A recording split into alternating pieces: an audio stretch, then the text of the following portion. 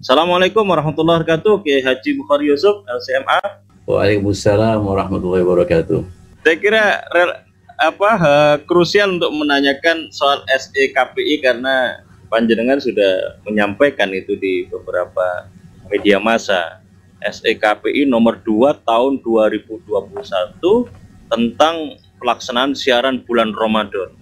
Poin 6 ketentuan pelaksanaan Broadcast telah menyalahi kewenangan KPI sebagai organisasi independen sebagaimana dalam pasal 7 ayat 2 Undang-Undang Penyiaran nomor 32 tahun 2002. Bagaimana ureanya ya? Silakan diberikan perspektif.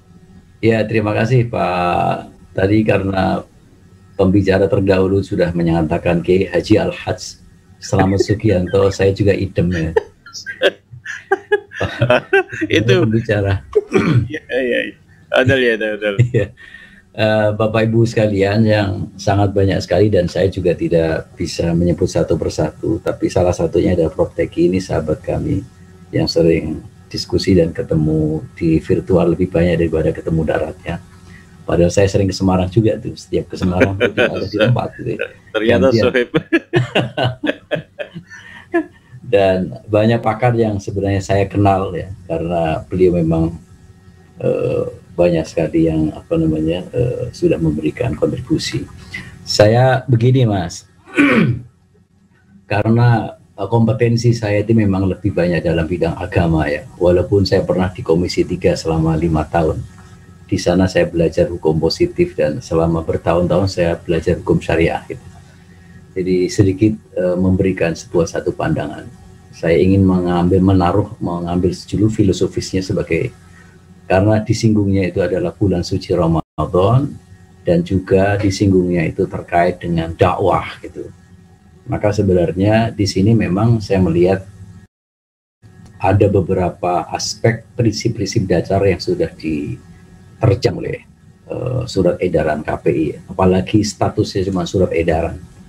Saya tidak tahu apakah SE-nya KPI itu ada landasan atau payung hukumnya ada nggak ada? Kalau misalnya Undang-Undang 12 tahun 2011 itu, ya kalau di pasal tujuhnya kan hierarkis.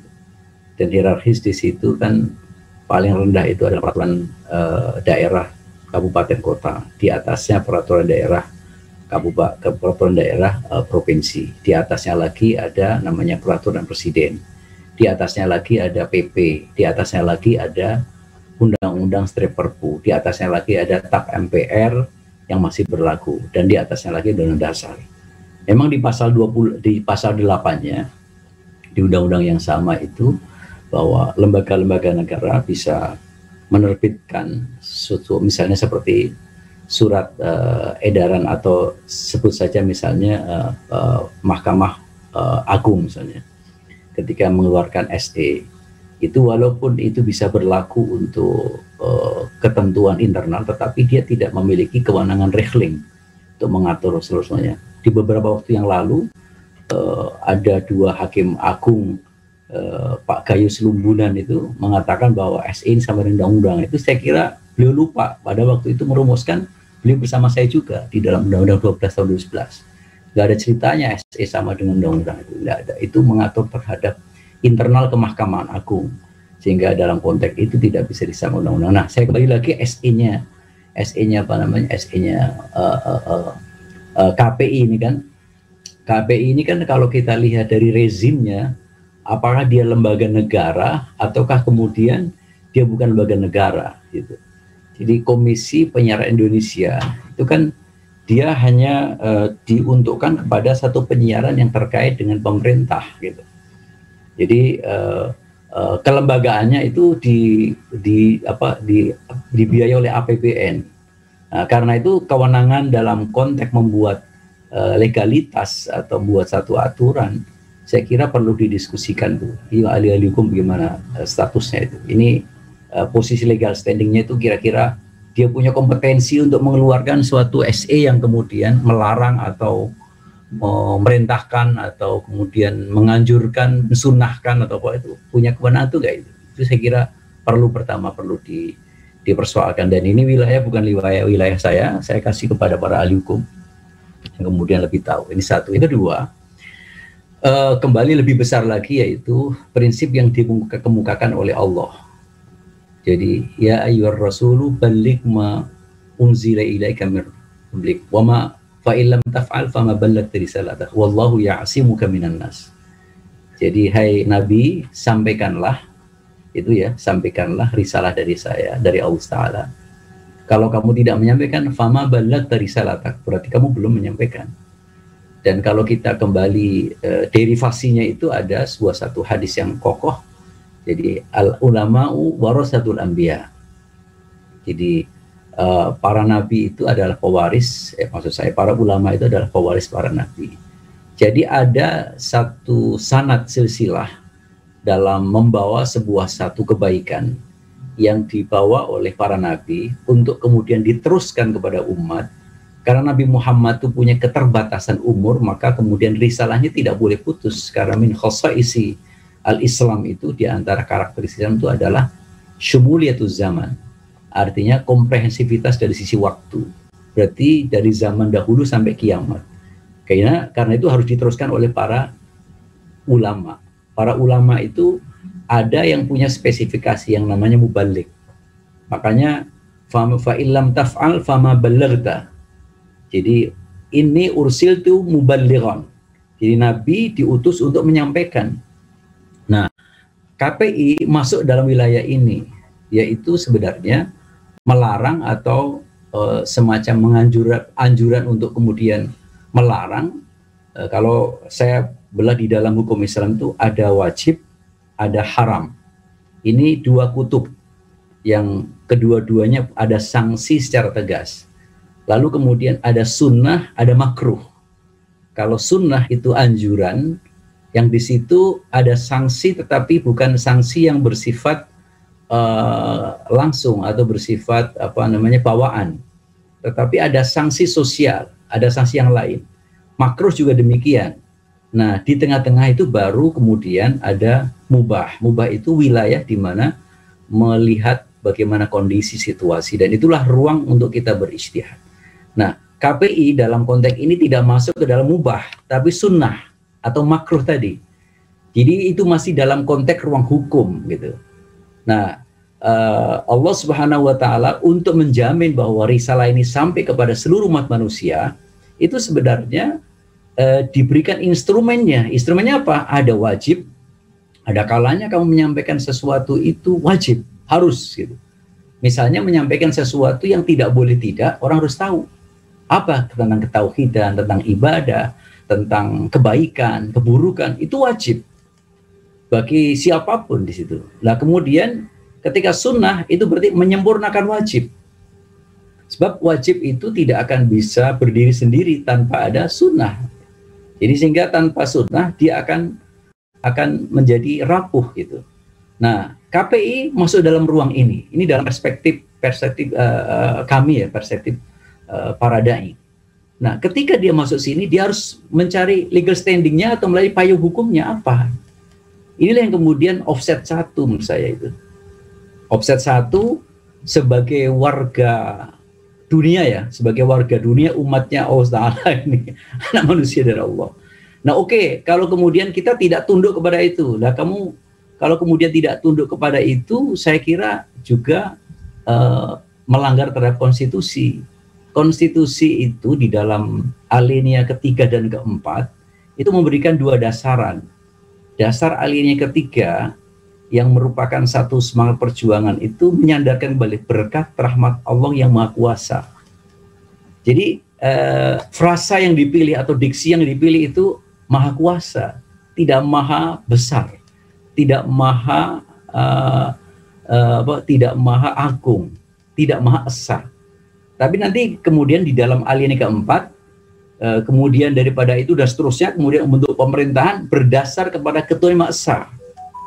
Nah, dalam konteks dua ini sebenarnya, ketika bicara eh, berkat rahmat Allah yang maha kuasa dan dengan didorongkan oleh keinginan luhur supaya berkehidupan berkebangsaan yang bebas, ya, maka uh, bangsa Indonesia dengan menyatakan kemerdekaannya. Jadi kalimat atau frase maha kuasa ini kalau kita tarik terhadap kekuasaan negara kedaulatan di pasal 1 Undang-Undang Dasar itu itu dikatakan bahwa uh, negara ini kedaulatan di tangan rakyat di ayat keduanya. Dan kemudian ayat ketiganya harus kemudian berdasarkan hukum dalam menjalankannya berdasarkan undang-undang dasar hukum di sini yang berlaku. Nah, berarti bahwa ketika uh, SE-nya uh, KPI itu adalah bagian daripada uh, aspek hukum, maka kemudian ketika dia tidak tunduk dengan ya ayyur rasul balima unzila ilaika min rabbik fa illam tafal oh, sebenarnya bertentangan dengan prinsip besar ini. Makanya sebenarnya konstitusi kita itu mengakui adanya kedaulatan Tuhan. Jadi kedaulatan rakyat itu mesti tunduk pada Tuhan. Nah itu kemudian diperkuat kembali dalam konteks ayat atau pasal 29 ayat 1 maupun 2 itu sangat tegas itu. Negara berdasar kepada ketuhanan masa. Ayat 2-nya menjamin pelaksanaannya. Nah ini termasuk pelaksanaan. Nah ketika orang per orang menyampaikan kebenaran, apa pun latar belakangnya, siapa pun orangnya, apa pun jenisnya, tentang sebuah satu kebaikan, tentang sebuah satu kebenaran, itu tidak boleh dilarang. Yang bisa melarang cuma hanya kemudian penguasa yang zalim. Nah, kalau kemudian itu penguasa zalim, maka sebenarnya itu musuh semua orang. Musuh daripada kemanusiaan gitu. Jadi eh, logika yang kami bangun untuk melihat bahwa eh, KPI dalam konteks ini offside itu di luar daripada realnya itu eh, dua sisi. Sisi pertama dia telah melanggar terhadap ketentuan Allah yang diakui kedaulatannya oleh undang-undang dasar. Ya dan kemudian dirumuskan di dalam pasal 1 undang-undang dasar. Nah, yang kedua dia telah melanggar terhadap ketentuan diri sendiri karena dia tidak punya kompetensi untuk itu. Dan yang ketiga ini tentunya melanggar terhadap hak orang per orang yang dijamin oleh undang-undang dasar.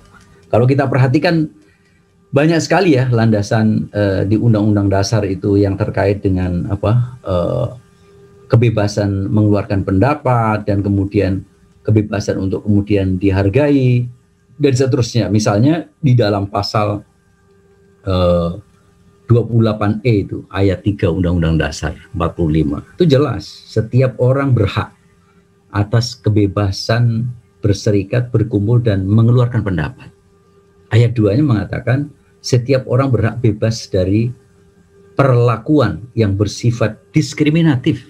Kenapa diskriminatif? Atas dasar apa pun. Boleh atas dasar apa pun.